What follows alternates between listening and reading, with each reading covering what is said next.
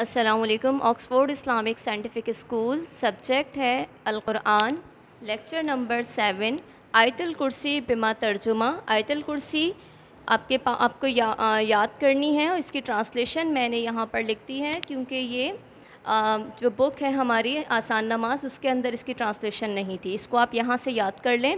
Translation है अल्लाह उसके सिवा कोई मबूद नहीं ज़िंदा है, वो सबका थामने वाला है। नहीं पकड़ सकती उसको ऊँग और ना नींद, उसी का है जो कुछ आसमानों और ज़मीन में है। कौन है जो सिफारिश करे उसके पास मगर इजाज़त से?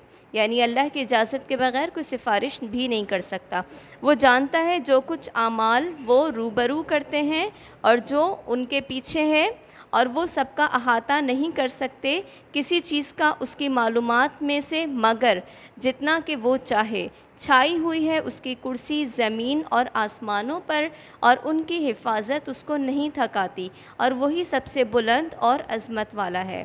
जजाकम्ला अल्लाम वरहमल वर्का